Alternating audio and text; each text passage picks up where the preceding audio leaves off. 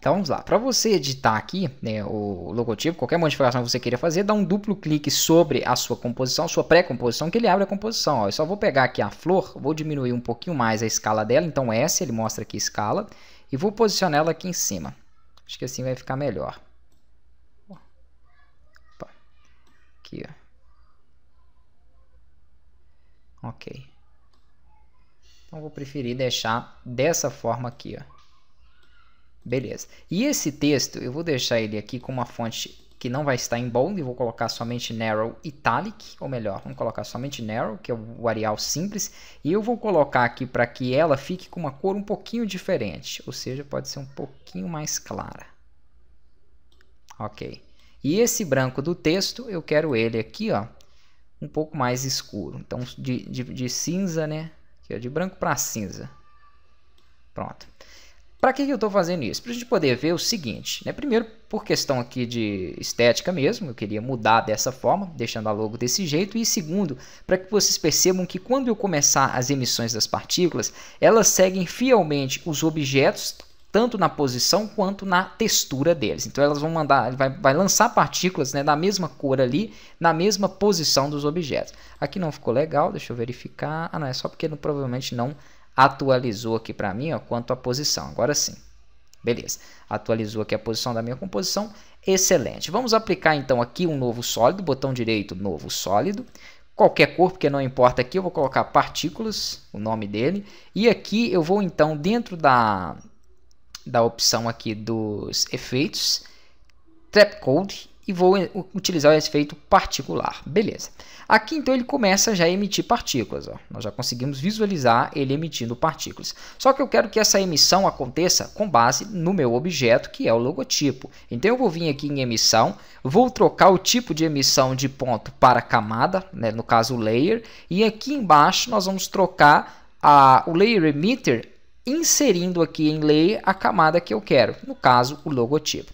Então aqui ele fala o seguinte, para que eu possa fazer isso, a minha camada tem que ser 3D. Então eu vou ativar aqui ó, o 3D dessa camada, Perfeito? Então, o logotipo é só você clicar aqui para ativar o 3D dessa camada, né? E aí ele vai começar a passar a executar a emissão a partir desse objeto. Vou aqui novamente, vou colocar aqui ó, nenhum, só para que ele volte a emitir como estava. Então, Layer, e aqui então em Layer, vamos selecionar logotipo.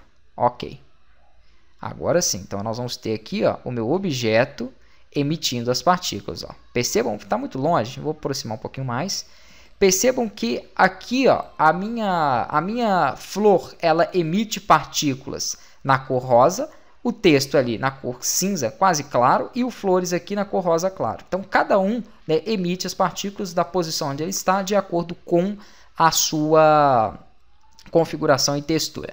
Beleza, tendo feito isso, vamos configurar mais algumas coisas aqui dentro dele. Então eu quero aqui aumentar o emissor, está emitindo 100 partículas por segundo. Vamos colocar um valor aqui muito grande, ó, cerca de 30 mil partículas por segundo. Então percebam lá ó, que a emissão agora vai ser muito alta. Ó. Beleza. E não vamos deixar essas partículas separarem, ganhar velocidade. Então aqui embaixo, nesses quatro parâmetros de velocidade, você pode zerar. Ó zero em todos os parâmetros de velocidade.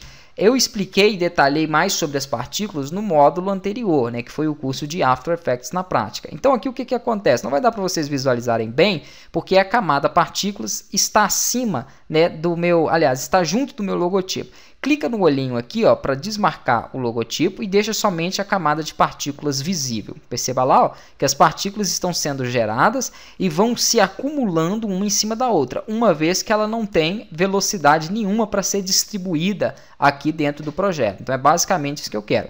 Esse texto, né, ou essa logo, vai ser formada a partir de um conjunto de partículas né, que está aqui dentro da nossa camada de partículas. Então, a partir daí, eu consigo fazer diversos tipos de efeitos e aplicar esses recursos aqui de gravidade, tudo aquilo que vocês já viram relacionado né, a essas partículas. Eu vou deixar aqui o seguinte, eu vou aproximar até um pouquinho mais, para que fique um pouco mais fácil de visualizar, né, e vou voltar com a exibição do meu texto abaixo. Porque se eu não deixo ele, ele vai colocar aqui tanta partícula que quanto mais ele emitir, mais as partículas vão se sobrepor ali. Então vai chegar um momento em que vai até começar a perder um pouco ó, o formato da logo, onde eu não vou conseguir é, um texto aí, nesse caso, legível.